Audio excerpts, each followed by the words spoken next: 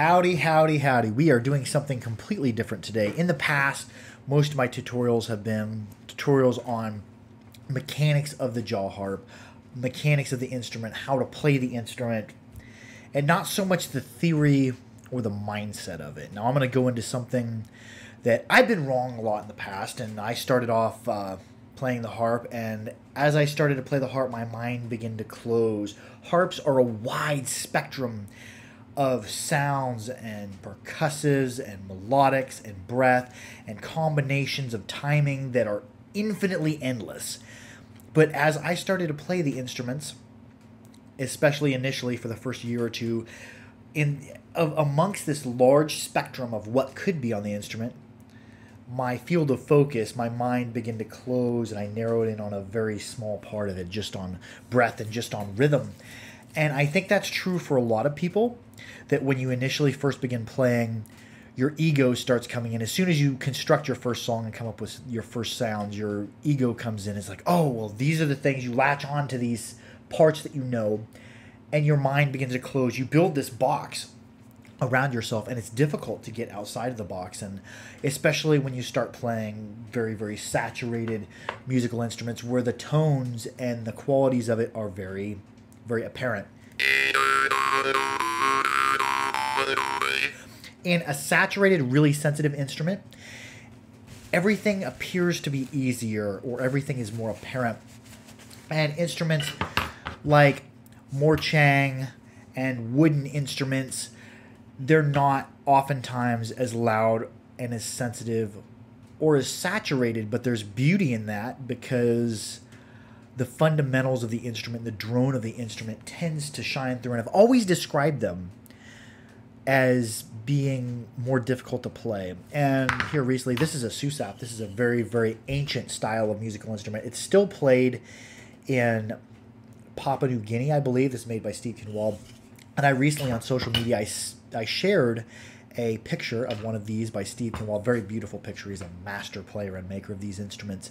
And I and somebody commented and said, "What is this? What, what's it about?" And I said, "Well, it's a susap. It's an ancient style of musical instrument, and it's it's difficult to play, but Steve Kinwald's a master of it, and he can instruct you better than I can on it because I'm still very much a beginner on the susap." And Steve commented back, and he said, "They're not difficult to play. They're just a different mindset." And I kind of I kind of sat back. I'm like, "Oh, I like that. A different." Mindset. And I've been thinking all week, that was earlier this week when that occurred. And I've been thinking all week about different mindset. And I'm like, I think my difficulty in playing this musical instrument is my inability to think out of the box. I've been playing all these steel and brass harps. I've constructed a box for me to think in. And here's all the things that work when I go on a wooden instrument. And I'm not very good on this yet. We'll just we'll just give it a try here.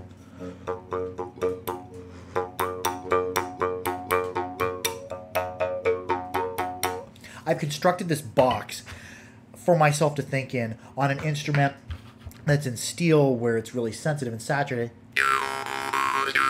Everything is there. Everything is easier for me because I have these go-tos, these things that I normally do on the instrument when I play a very old school wooden style of instrument. All the things that I used to latch onto aren't there, so my ego comes in and my ego starts saying, "Oh, well, this isn't working. It's not me, it's the instrument." And I used to make a lot of excuses for myself. I used to very much dislike Morchang as well, and now Morchang are my favorite style of instrument because when I used to pick up a Morchang and play it, especially back when I was only used to rhythmic, breathy play, that style of play wasn't as readily available on the harp, and I'd be like, "Oh, it's Morchang. I just don't like Morchang," and my ego comes in and starts playing. Well, I've been playing a year or two. Um, it's, it's not me; it's the instrument, um, and I used to make all sorts of excuses, and from um, people who come to me for help, they they make the same excuses that I would make uh, when the ego comes in and you say the instrument's too small, or the reed is too flexible, or the reed is too stiff, or it's not loud enough, or it's not sensitive enough. And I think when we do that, when we let our ego come in and tell us these things, instead of opening up our mind and thinking like, oh, this difference in the instrument is a unique opportunity to grow not only technique but grow song structure because so much of the time myself and others included they'll say and myself i've said I'm latched into the same rhythms in the same song, and every song sounds the same. But anytime I encounter a, a, harp or an instrument that's different than what I'm used to, I'm like, oh, well, it's too small, it's not loud enough, it's too stiff, it's too flexible. I instead now, I want to think of these things as opportunities for growth and opportunities to grow outside of the songs I normally play. Because if we open up our mind, it's so easy to close our mind and get in this mindset of this is the style that I play, these are my rhythms, these are the, my go tos. Instead, I want to change my mind. I want to be more open. And this is a, this is going to be a long, rambly video, anyways, just on theory and on mindset. Bruce Lee once said a good quote. I can't remember it verbatim, but he said, "If you can be anything, be water." Water fills any vessel and it responds to pretty much anything.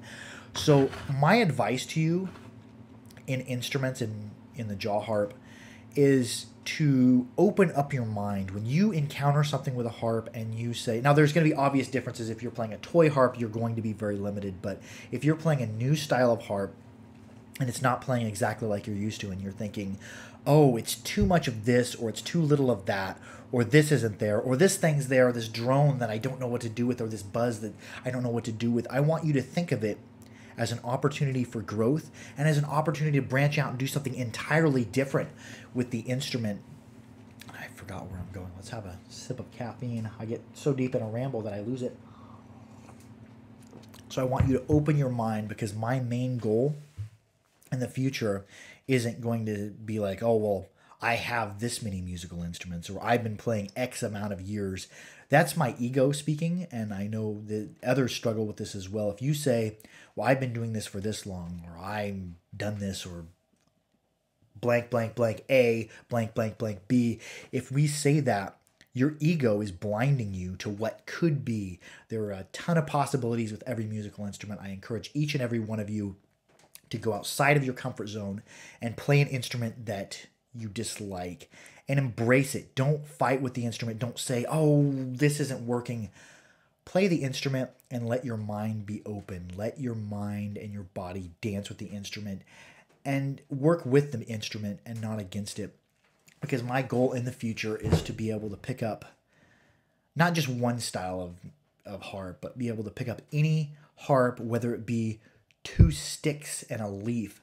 I want to be able to make magic on it. That's where I want to grow into in the future. And anyways, the the old school style of musical instruments and Steve Kinwald saying that these instruments are a different mindset. I'm going to see if I can find some of his YouTube videos and put them below because he will take very old school style musical instruments and make absolute magic on them.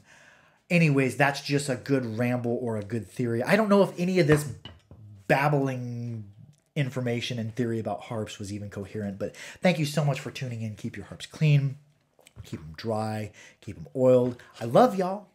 Be good to each other. Keep your mind open, and you're going to grow on the instrument. Adios.